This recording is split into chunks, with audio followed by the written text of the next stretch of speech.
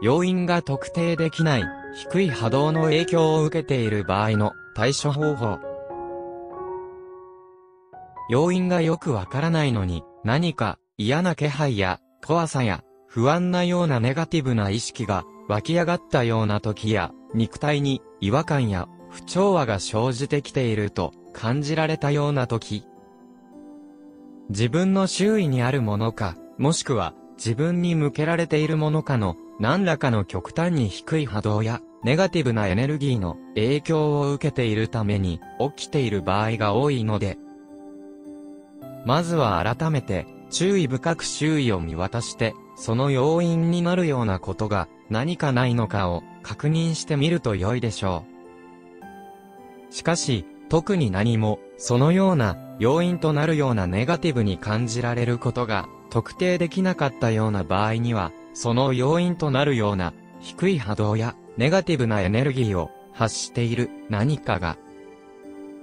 今ここでは目で見たり触れたりするなど、物理的にはっきりと確認できないものである可能性が高いと言えるでしょ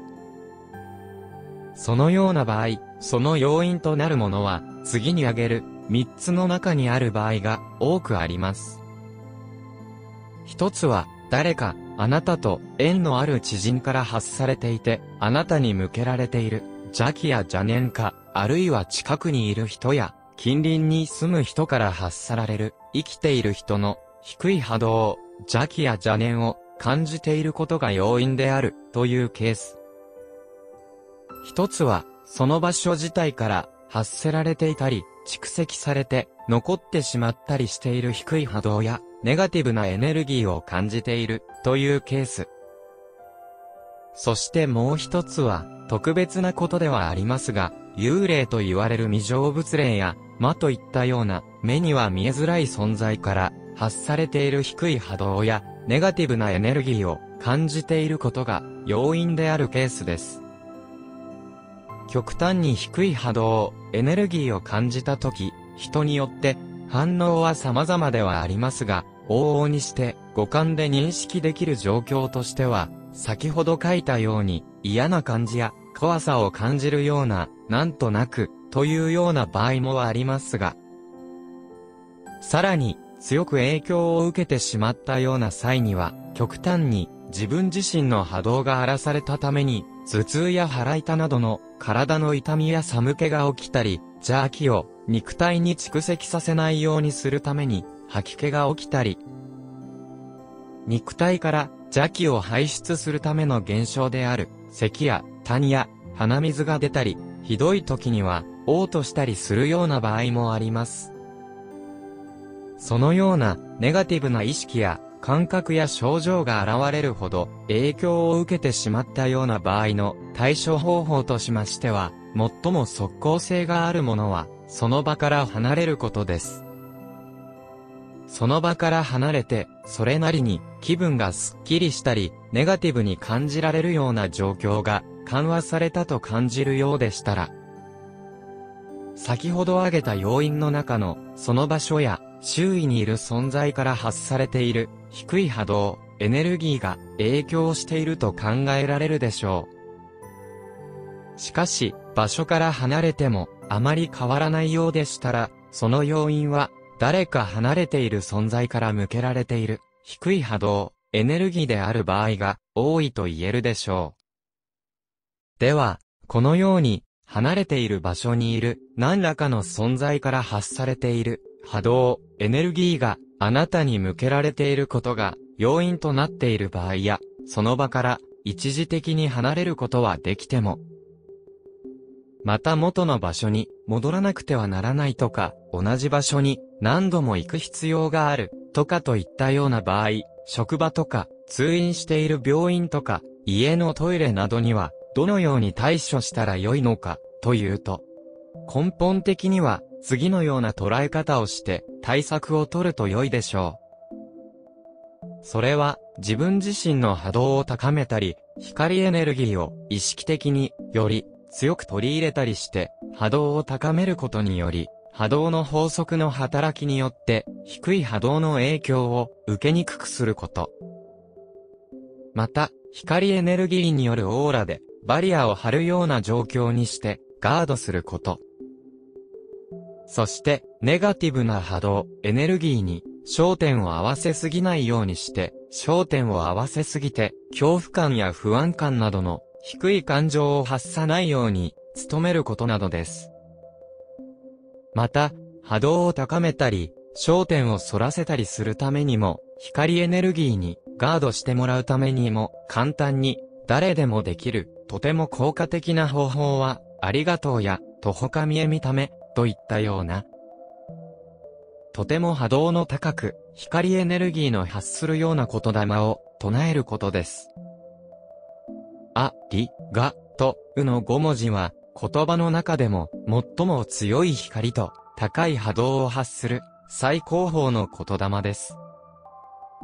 そして、徒歩神へ見た目の8文字は、最も強い、払い清めるための言霊です。それ以外にも、愛や、慈しみの気持ちの込められた言葉なら、それなりに有効である場合が多いでしょう。また、高い波動、エネルギー、霊力を発していると信頼しているような、神言、マントラや、神語や、南無妙法蓮華経の題目も有効でしょう。自分自身の周りに光のバリアを作ってガードしているイメージをするだけでも実際にもガードされて効果はあるでしょう。とにかく、自分自身の波動、エネルギーを高めるように努めることが大切であるということです。また、幽霊のようなものを見たり感じたり、心霊現象といったような特別な機会にあったり、あってしまいそうだと感じて、恐怖感や不安感が強まったりしたような場合には、次のようなことに留意すると良いでしょう。幽霊とは、つまり未成仏霊や魔といったような仮想アストラル界に存在する波動のとても低いネガティブな霊のことですので、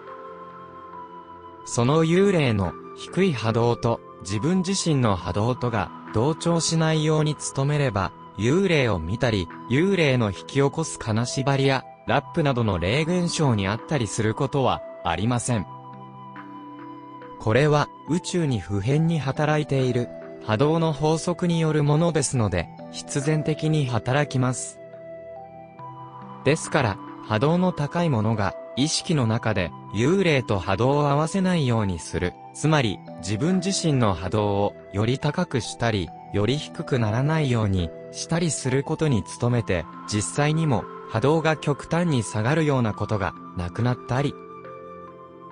幽霊を見ようとしたり、感じようとしたり、接触しようとしたりして、焦点を合わせないようにすれば、波動があまりにも違いすぎて、合わないでいて、焦点を合わせてもくれないあなたに対して、幽霊の方から波動を合わせて見せたり接触したり、霊現象を引き起こしたりするようなことはできなくなるのです。私たちが高次元の存在である神仏や宇宙の皆さんや守護霊様や天使などをなかなか見ることができないのはそのためでして高次元に存在する皆さんとの波動、周波数、振動はとても繊細であるために低次元の物理的存在である私たち肉体を持った人間が五感で認識しようとしてもなかなか見たり触れ合ったりすることができないのは、そのためです。でも、高い次元であり、高い波動を放っている存在が、あえて低い波動にしたり、低い波動に焦点を合わせて、コントロールしてくれさえすれば、意図的に認識しやすい状況を作り上げることは可能ですし、私たち肉体を持った人間から高次元の存在を信頼したり、敬ったりするなどして、焦点を合わせたり、波動をより高めて、波動状況を近づけたりすれば、それなりに近づくことができるために、メッセージや映像などのインスピレーションを健在意識で認識することができることもあるのです。余談ですが、私は時折、ヒーリングをする対象者や対象の場所などから未成仏霊の存在を感じた時に一時的に必要な情報を得るために焦点を合わせて意識的に幽霊の状況を見る、知るようにすることがあります。そして、情報を得たら、波動を合わせるのをやめて、つまり、焦点を合わせず、意識を向けないようにして、断ち切るようにします。このように、自分自身の波動さえ、下げないようにしてさえいれば、コントロールできるようにもなるのです。話を戻しますが、とても低い波動、エネルギーの影響を受けてしまっていると感じるような時、具体的な対処法は他にもあるでしょうけれども。ここで具体的にもう一つの対処法として挙げますと、守護霊様や守護の神仏や天使などといったような高次元に位置している守護の存在により強く守っていただけるようお願いをすることです。